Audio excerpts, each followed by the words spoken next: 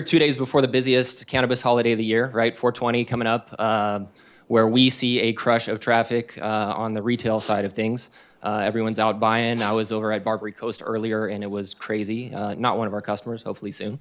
Um, but yeah, I, I realize these events attract a wide range of attendees, and I kind of want to get a sense for the crowd here. Um, who here, just show of hands, uh, who here is a product person, product manager, PM, something like that? A few, okay. Uh, where are the designers in the crowd? Okay, a lot of designers, good stuff. Uh, any engineers? Okay, a couple here and there. Uh, what about uh, uh, other, I guess? Uh, none of those.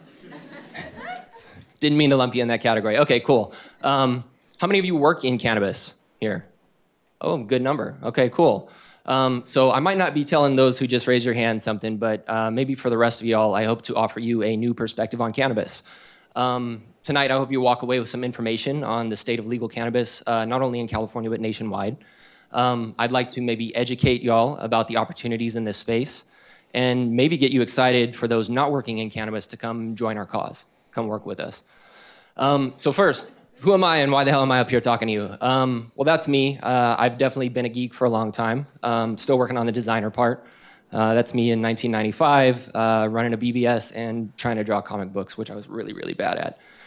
Um, I've worked at a variety of companies. I worked at Hewlett Packard when I was 17, went through the whole dot com boom and bust, uh, founded my own consultancy in 2000, and started a company called Cashboard, uh, which helps small businesses in 2006. Today, um, I'm the principal designer at Greenbits, um, and over there, I'm trying to build a strong product team, um, doing an okay job, hopefully. Um, handle design research, strategy, design systems, which uh, a lot of the designers in the crowd probably are also familiar with, uh, and do a lot of lean product validation. Uh, been there since 2017, uh, so coming into, I think, my third year now. Um, and, well, those who don't know, um, What's Greenbits? Um, well, we kind of know a thing or two about running successful cannabis operations. Um, we have 1,100 uh, locations nationwide and growing. Um, we processed a quarter of all transactions in legal cannabis last year. Uh, we launched 2015 in Washington uh, with the BioTrack system that was there. Any of y'all know what BioTrack is? Okay, good. This is this is going to be good then. Um, we have 88 employees and 40% of the market share for retail point of sale in states that have seed to sale tracking. Um, we will be in all 33 legal states by the end of this year. So, um, all that said, um, I'd like to take you all on a little quick journey of legal cannabis growth in America. Uh, here was the state of legal cannabis in 2012. A lot of red, a lot of prohibited states, right? Um, we had two that were recreational, uh, Washington and Colorado, uh, and, and a bunch that were medical, or a handful that are medical. So fast forward to today, uh, and that map changes drastically.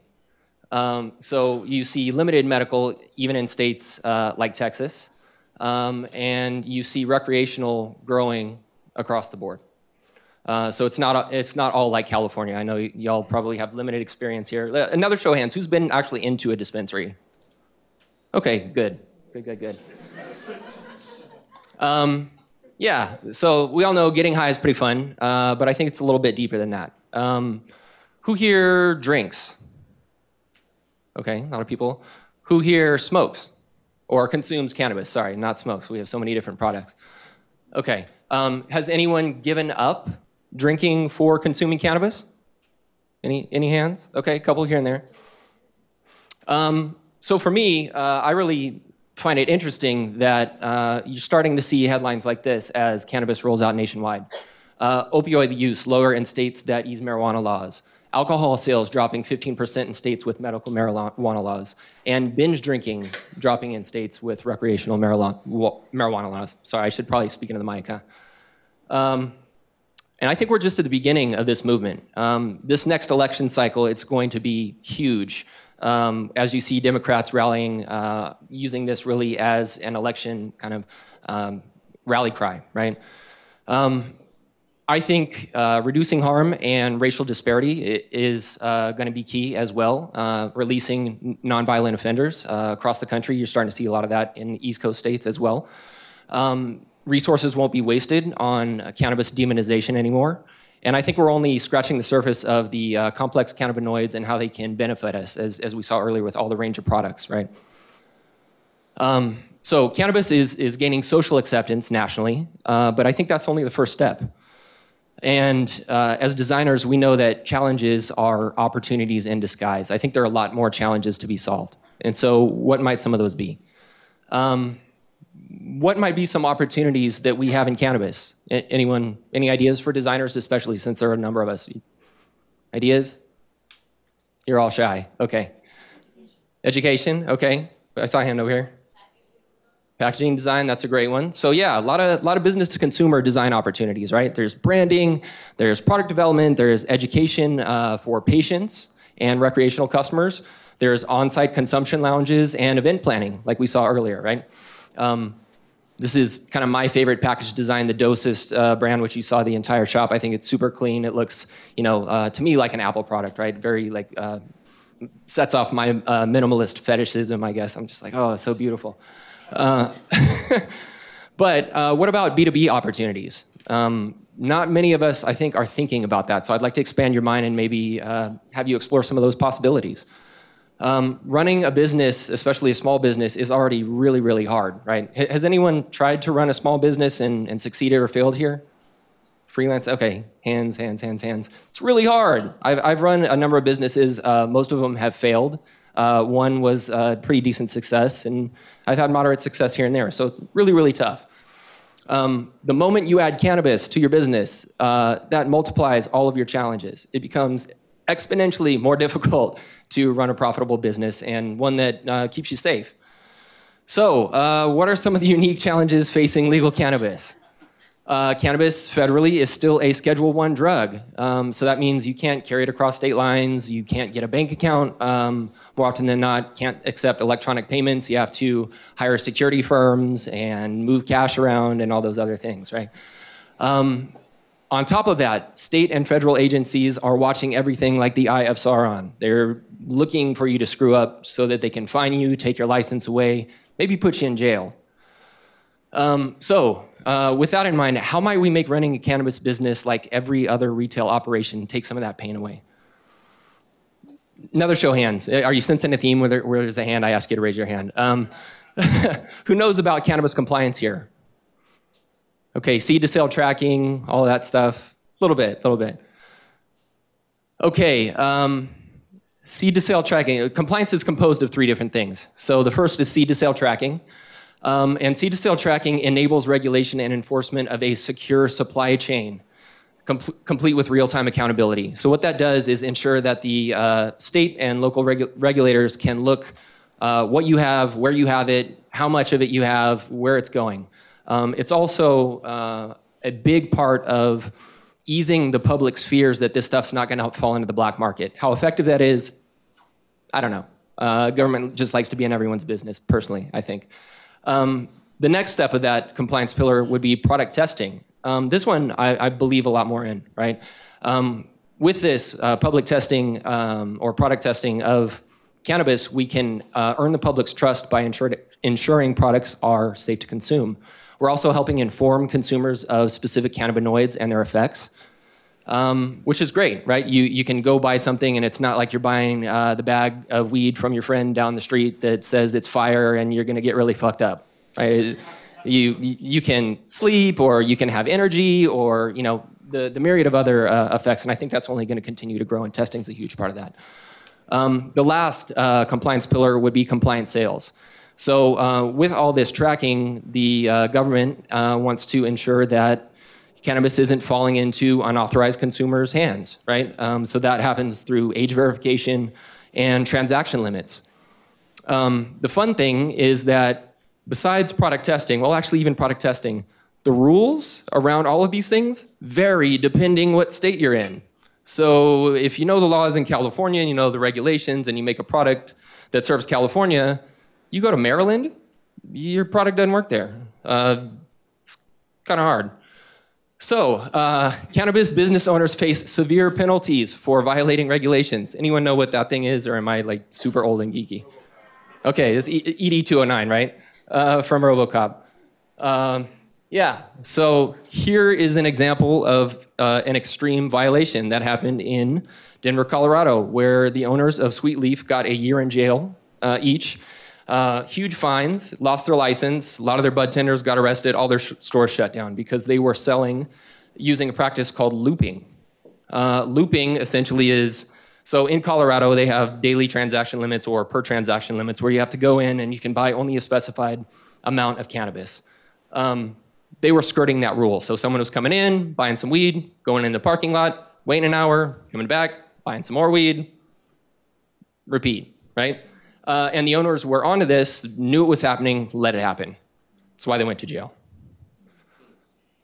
Um, that's a really extreme case. Um, some more common penalties where uh, ED 209 is kind of a friendly little toy here. Um, fines up to $10,000 per day if you violate some of these things for uh, store owners, uh, license suspensions.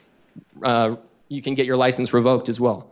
So um, you need to know compliance and you need to understand that if you're going to operate a cannabis business. Now, I'm not even going to talk about labeling and packaging concerns, which also differ state to state fragile uh, government technology, APIs that go down, um, or perplexing tax codes like here in California that a math major can only understand. What I am going to talk about is seed to sale tracking. So um, I've been thinking about this problem for the last couple years or so. Um, seed to cell tracking has three big players nationwide. You have Metrc, you have BioTrack, and you have Leaf Data Systems. Uh, Metrc being the largest uh, across the country. So, how's it work? Um, I'm going to show you a workflow. When uh, cannabis is planted, uh, it gets a number. So here you could say it's 001, right? When the, and there you go. Um, each plant actually has that number attached to it in Metrc states. That's an RFID tag hanging from it. So an auditor can come in, wave their magic wand, scan all of the plants in the facility and know where they are right? So, oh, we have 16 of these, 12 of those, 20 of these, everything looks good, right? When those plants are harvested, um, there are lots of other numbers that can happen, right? So each harvest gets its uh, own number, unique number. So that, again, the government can track it. The government's looking at this through a state portal every step of the way, right? So uh, you harvest some flower that gets 002. You harvest some flower, it becomes materials, and they have different classifications. So that's why I'm showing all the uh, different names there. Becomes 003. You waste some things, um, becomes 004, and then you have to actually take a dis- destruction action on that waste. That again is recorded to the government. You can't just throw away the weed. You have to mix it with dirt in front of a camera and set it on fire and do a dance and a spell and everything else. Uh, it's really, really crazy. So um, here's a harvest. Again, that Metrc tag attached to it, right? Uh, this is at one of our customers' uh, operations in Colorado. Um, once it's harvested and packaged, uh, some go into production, right? You need to extract um, oil, you need to maybe repackage it into smaller uh, batches so it can be ready for sale. Uh, something like this. Uh, one of our customers weighing out uh, product to, to repackage it. After that, uh, it gets moved on to retail shops. Every step of the way, these, the government's tracking these things. Every step of the way, it gets a new number so the government can track it. Um, this is all really complicated stuff, right? Uh, who's doing this? Are they doing it manually? Are they writing these things down? Some people are, if, if you don't um, have a system to help you with it. Um, and that again, when it comes into the store, looks like this. These tags follow it along. They have to be stored with the product and, and tracked along the way. So when that government agent comes in and says, hey, show me all of 1A4013, blah, blah, blah, blah, blah, 13, uh, where is it? You can show them and say, oh, I have 20 of these, I have 10 of those. We're good, right?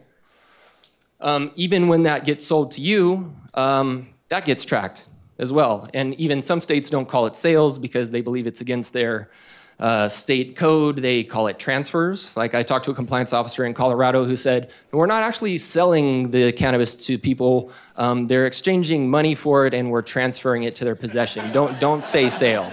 We're not actually selling weed. Um, and you know it happens in, in shops like this really beautiful uh, beautifully designed shops this is one uh, of our customers in maryland um, and you know you end up with products like this. Um, this anyone know what this? Oh, that's that's not an exit bag. Actually, I, I didn't have the right picture. So sometimes it even shows up in a child-safe bag that you can't walk out of the store with, right? So God forbid someone gets their hands on uh, on cannabis, right? Or you can actually get to it to smoke it or eat it or whatever you want to do with it.